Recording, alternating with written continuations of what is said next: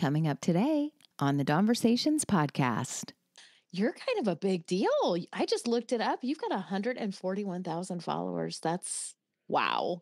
I, I am assuming they're all bots, um, except for my dad. Uh, but yeah, yeah.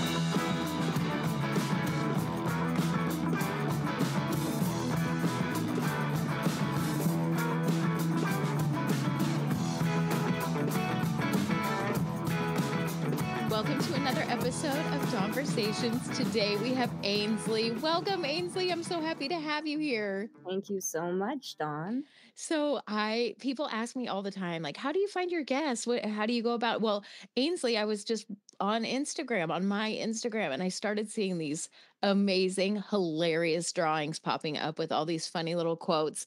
And it was totally my sense of humor. And I was like, I have got to meet the person behind this. So here she is. Here is Ainsley, all the way from Long Long Island. oh no, originally from Long Island. I got out of there pretty quick. But um, did you really?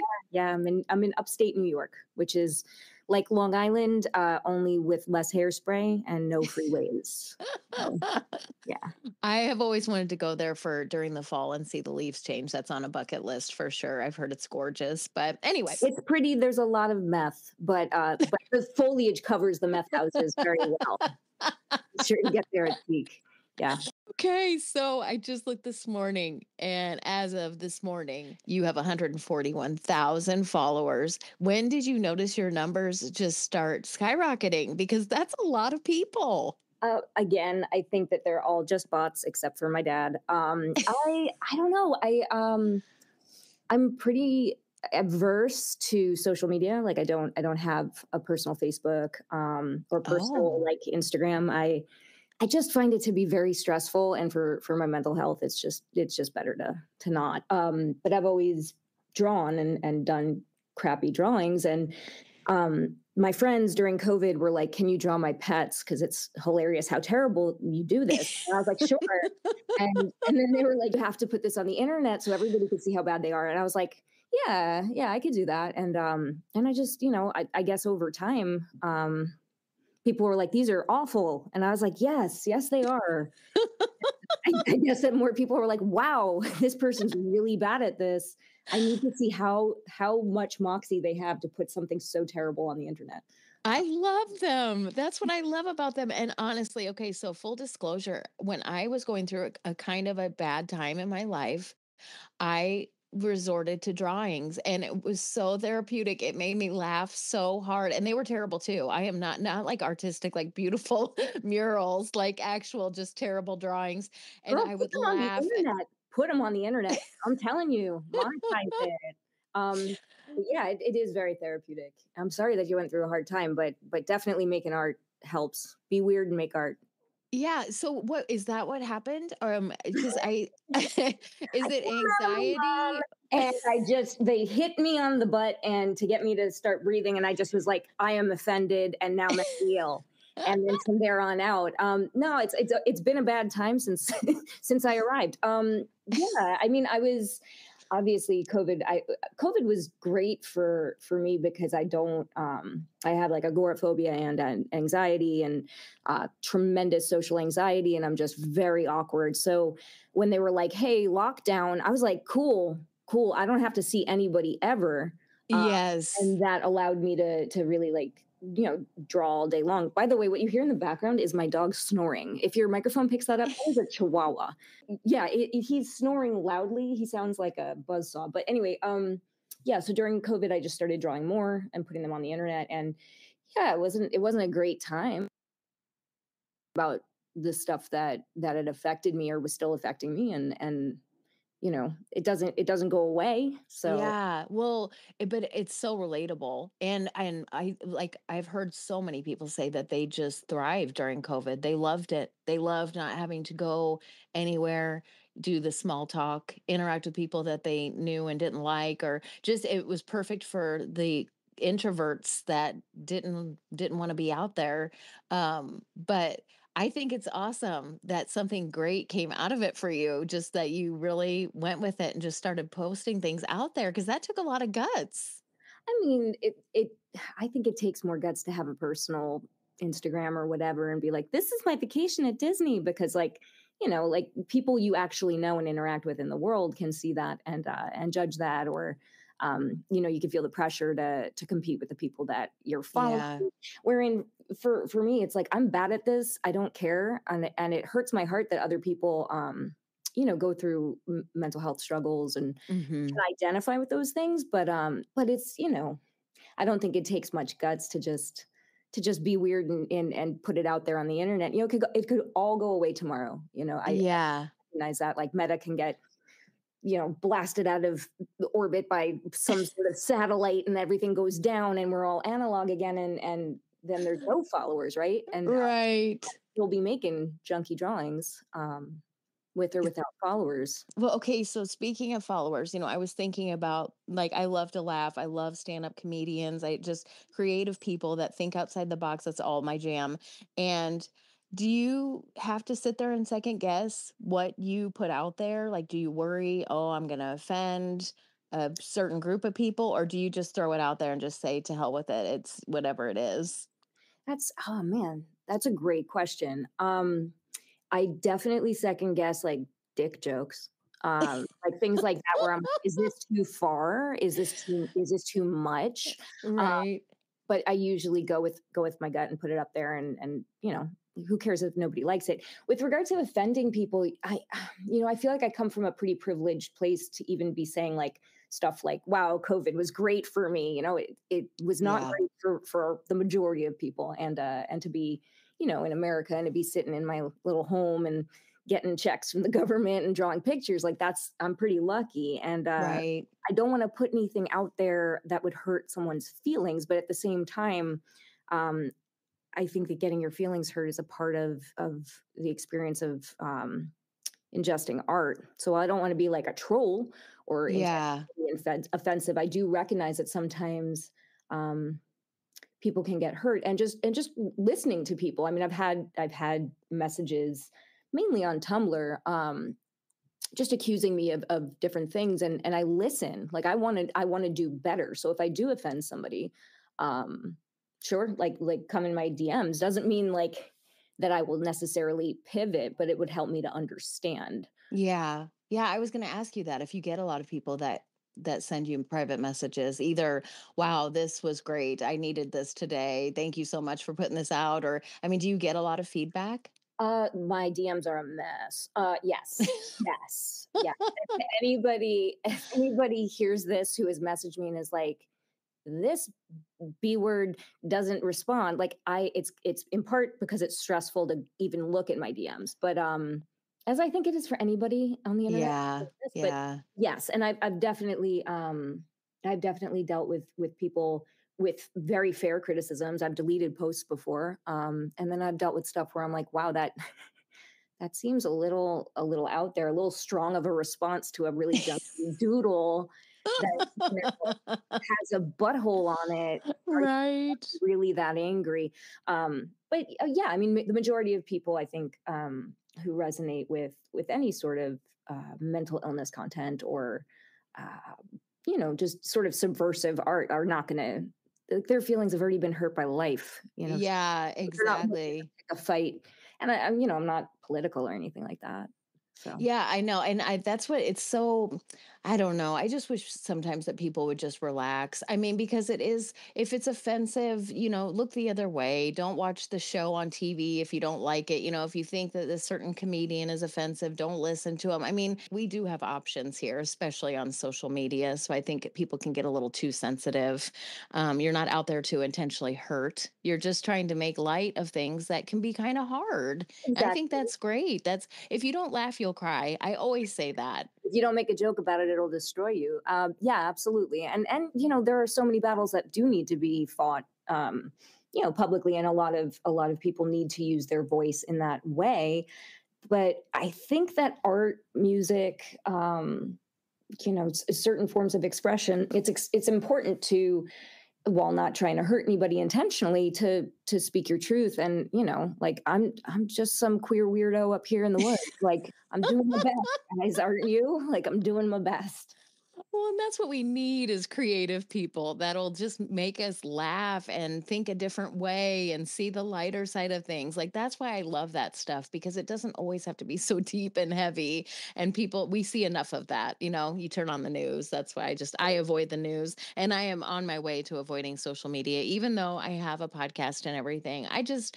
it's old. It's old news anymore. I'm so tired of the falseness of it and just I don't know. It just doesn't even seem real anymore. But anyway, so um I mean, I think it's really important. This is like a message that I, I try to to say to the people in my life, especially younger people. Um, you know that you can curate your experience you don't have to interact with anything that makes you uncomfortable or angry um, if you're using the internet like for like most of us are i think to zone out or to to be distracted from the soul crushing reality of nine to five work or whatever, um, you could curate your own experience because there's enough stuff out there that you can't escape from that we do have to, you know, face and, and reckon with uh, morally and otherwise. So yeah, curate your own experience, man.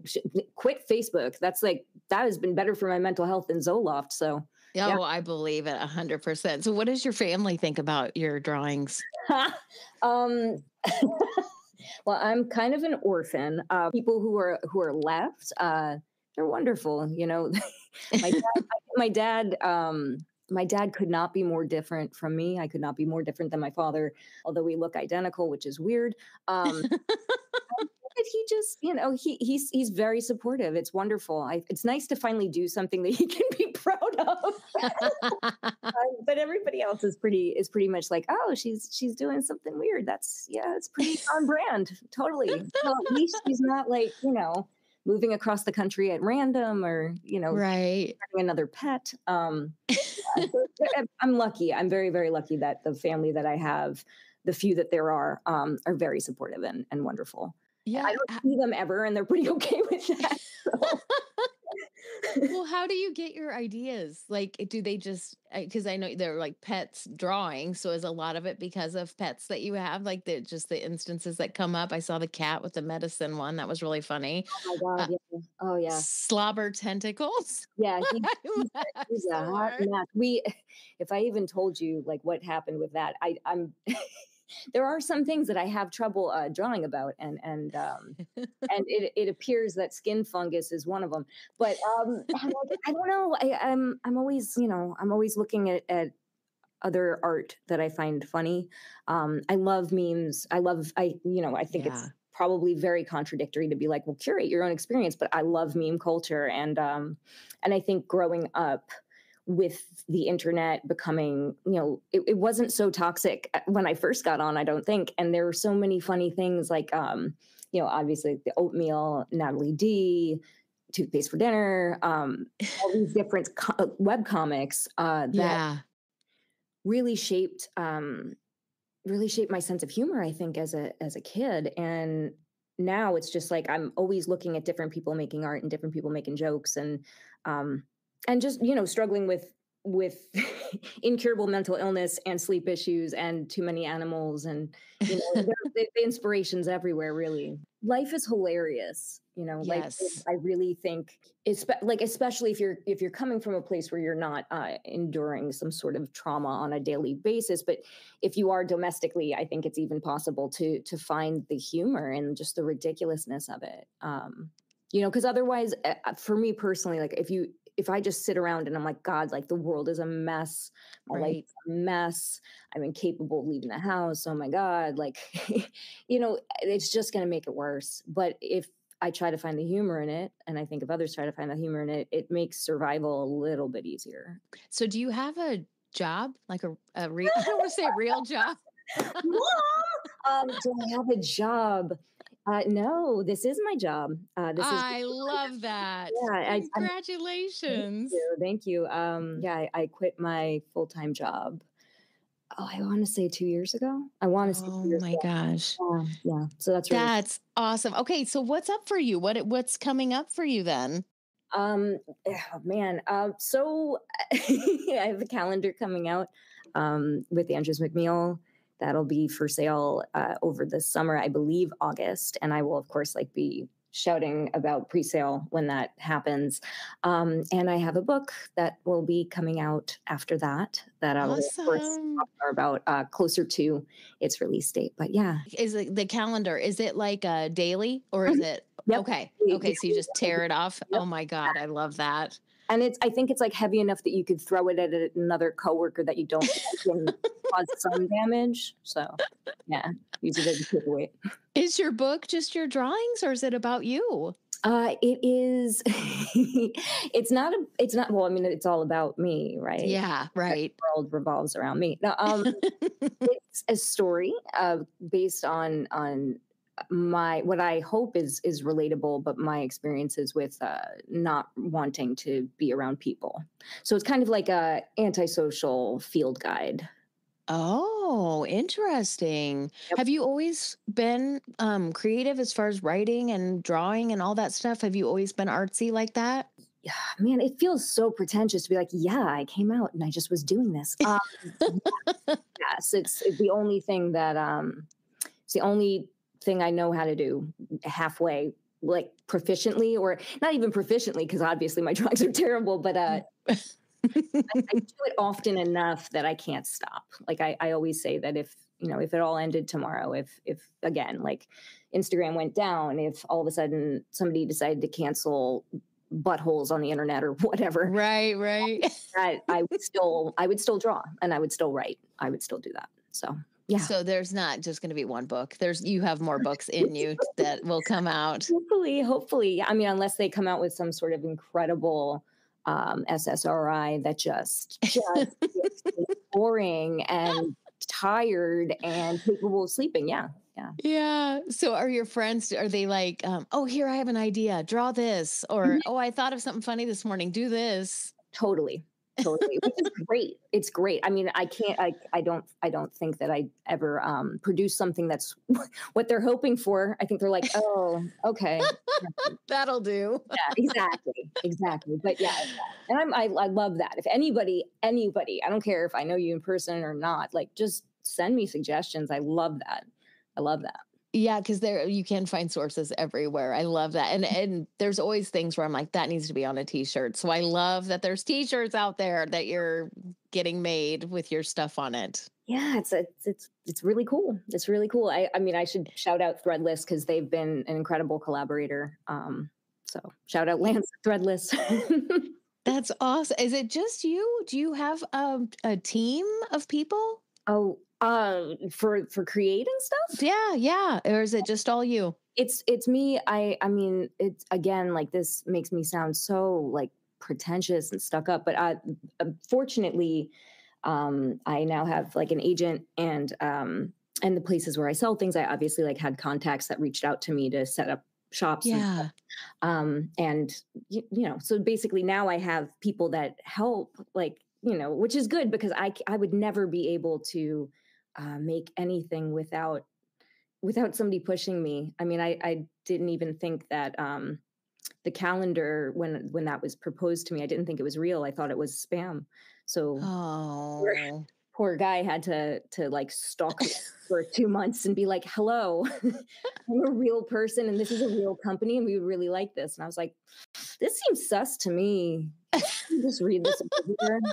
There an IP tracker? Like, yeah, But I think it's um I don't think you sound pretentious at all. I think you sound really humble and probably it's just like wow, I didn't think that what I was doing was going to end up me needing an agent, you know, but but you, we all need people to help us. You couldn't do it all yourself all the time. So this is great that you have people that want to back you up and get your name out there and I think it's phenomenal. So just it's great to be humble, but be proud of yourself too. It's awesome. Thank you, thank you, Dawn. It's hard to feel like I'm humble when I'm on a podcast being asked questions. I just do really, really bad art. No. thank you. Thank you. I'm Um, happy that I got through your little filter on your social media because honestly, like I wasn't looking at your numbers at all. I was looking at your drawings and I was just like, I I have to meet her. I have to meet the person behind this. So I feel just so happy that I got to actually talk to you. This is just amazing. thank you so much. Yeah. So, what about Um, you? How long have you been making podcasts? I've been doing this. Um, it'll be two years in February, and I started it as a uh, podcast about doing hair and being behind the chair and all the crazy stuff that people talk about drawings that could be made. Absolutely. There's a lot of inspiration there, but um, yeah, I started it off as that, and then I ended up retiring because I hurt my elbow. So I was just like, after 30 years, I thought, you know what, I'll just throw in the towel. But I didn't want to stop doing the podcast, so I thought I'll just talk to whoever I want to talk to as far as you know things that interest me, and I love comedy. I love people. So I just love I just love interacting with people. I'm opposite of you. I, like, No, I mean, I listen, ex- reach out for people. when I tell you that that um, getting my hair done uh, used to be like one of the more stressful experiences that I would have to undergo back when I lived on Long Island to just pretend to be one of those girls. Uh, to walk in and be like, yeah, no, things are great, and yeah, no, I'm dating. like I can't, I can't do that. So I give you so much credit, and also I don't think um, that, that I, I don't know if the term hairdresser because I used to be a massage therapist, so I, I'm very Oh, to the fact like you can't call me a masseuse. Like legally, that's not okay. I don't know if hairdresser's okay, but I, hairdresser's totally fine. it's that it's a very physical job. It That's a is. very physical. Like you got retired out of it because of an injury. Like you're Right. and people Yeah. are like it's just hair, but no. No, it's so physical and mental. It is so mental. I mean, I know when I get a massage, I don't talk. So That's I just relax point. and enjoy. But when uh, That's be- why I picked it. Literally, was I want a job where nobody's going to talk to me. And I thought people fall asleep in massages. If I get good enough at that, I won't have to talk to anybody and I could get paid for it. Yeah. Oh my gosh, that's so funny. Yeah. Well, there's a lot of stylists though that don't talk. You know, they are in the zone and they are doing their art and that's their way. And I felt like my hands would not move if my mouth wasn't moving. I find that terrifying. Somebody with a sharp object dead silent around my head. Like, what's happening? What are you doing? Why are you yeah. like that? But? Um, yeah. and for clients, you know, that don't want to talk, they just want to come in and relax, poor them. Because I am like a reporter and they would sit down and I'd be like, so where are you from? What do you do? What it So yeah, I, there's somebody for everybody out there. There's a stylist for everyone. Not for me. My hair is junky, but all right. Right. I used uh, splat dye the other day, so now my entire bathroom looks like I just took Kool Aid and sprayed it everywhere. Oh my God. Well, that's the artist in you. That's no, the no, no. It's it's it's absolutely not. It's me being like incapable of precision. Incapable of precision. So do you have anybody famous that follows you? Um, that I, this is funny. Um, I am a big MMA fan, which is weird. Uh, but I, Oh, no. I absolutely love MMA. And Esther Lin is a photographer for uh, boxing events and MMA events, and she followed me, and it was the greatest moment of my life. Um, shout out Esther Lin of MMAfighting.com and others. Uh, she's an incredible photographer. So she's somebody who I consider famous that I knew. Of course. and uh, and Matt Frevola, who's a fighter from Long Island, who's amazing. Um, both of them follow me, and that's my version of famous. Okay. yes, no, I love that. You're my version of famous. If it's somebody that I can see and I'm like, well, they make stuff. I like what they make. That's famous to me. So I love it. I think it's phenomenal. Um, are you doing anything big for the holidays? Uh, yes, sleeping. Um, I am. I let, let me. I, you know, if if if I can drop a piece of advice, Yes. advice. Don't do anything on holidays. Don't don't do it unless like you have. I guess if you have children, this you can't do that. That's very cool. You just leave. yeah, just like bye. I'm going away from you. No, I um, Santa. I have adopted a, a policy of not going anywhere on uh, any major holidays uh, and just just being at home and enjoying um, my my little bubble family in my little house and and enjoying nature and not interacting with the world and just kind of um, doing the opposite of what I was raised to believe was the right thing to do for holidays. Yeah. drink too much, throw a fit, maybe start a fight, and uh, right. and get a really bad hangover for Christmas. So I'm not doing anything. I'm I'm gonna I'm gonna give the cat some gifts and uh, spend some time with my partner and and that's really it. What about you? I love it. Um, i'm doing the opposite this i'm, I'm going to be around all the people um, but that's you know i, I loved your um, i'm dreaming of a spite christmas. I, I just laugh so hard even if i'm opposite of it i still appreciate all of the humor of it i just think it's hilarious and i cannot wait to air this i want everybody to follow you i think everything that you put out there is just so relatable so funny, so genuine and authentic and completely my jam. So I am oh thrilled so that you agreed to be on my podcast. Thank you Thank so you. much. Thank you so much. I really appreciate it. Yes. Well, Ainsley, it's been a pleasure. I will put everything in the show notes so people know how to find you. And in August, when or before you're getting ready to promote, if you want to come back on and and tell everybody and promote it on here, you're more than welcome to come back. I'd love to have you. Absolutely. Thank you so much, mm-hmm. Dawn. All right. We'll talk soon. Bye bye.